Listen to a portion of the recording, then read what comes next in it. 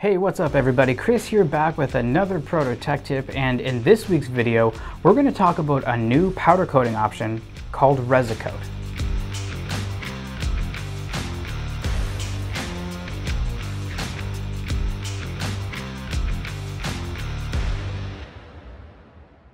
You need specifically designed custom parts to meet your unique project requirements. That's why we developed our one-stop shop for custom manufacturing. You simply don't have the time to be tracking down multiple vendors to get a job done. We can turn your designs into high quality parts and enclosures in as fast as two to three days. Now we offer many different finishing options in-house, including powder coat, chem film conversion coating, media blasting, and much more. Now when it comes to powder coat specifically, we've got a ton of options for you in different colors, different textures, and different gloss ranges. And we can even order you a different powder coat from our suppliers for an additional lead time. Now the latest additions to our powder coat stock are two new ResiCoat options. We have ResiCoat Red 3332 and ResiCoat Black 2701.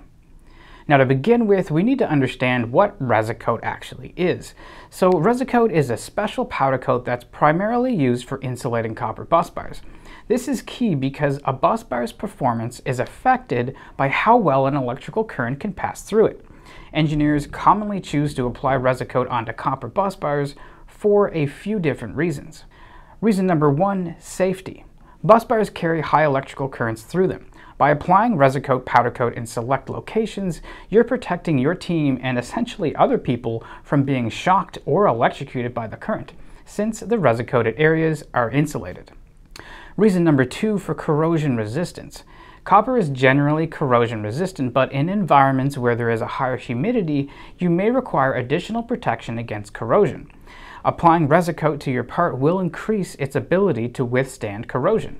And reason number three, reliability. Coating your bus bar with ResiCoat will help prevent instances of short circuits or other events that can cause your copper bus bars to not carry current properly.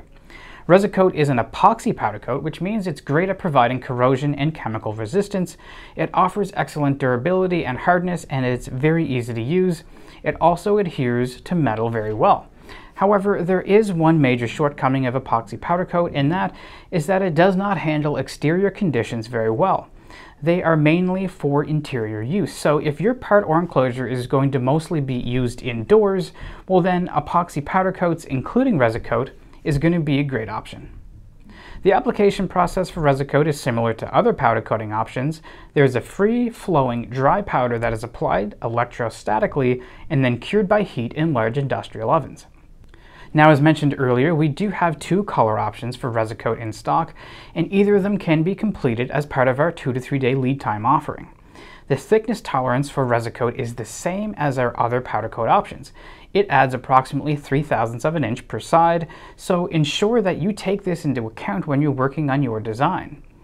AkzoNobel Powder Coatings, which manufactures the ResiCoat powder coat, they provide some information about the dielectric strength for each color ResiCoat that we stock. Black ResiCoat has a dielectric strength of 800 volts per 1 thousandth of an inch of coating of thickness. Red ResiCoat, on the other hand, has a dielectric strength of 1200 volts per 1 thousandth of an inch of coating of thickness. So based on our standard ResiCoat thickness of approximately 3 thousandths of an inch, you will need to calculate if our standard thickness will suffice for your project's specific voltage requirements.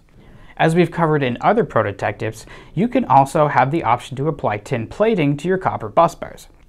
Tin plating is a simple immersion technique that deposits pure tin onto copper in order to improve corrosion resistance, electrical conductivity, and solderability.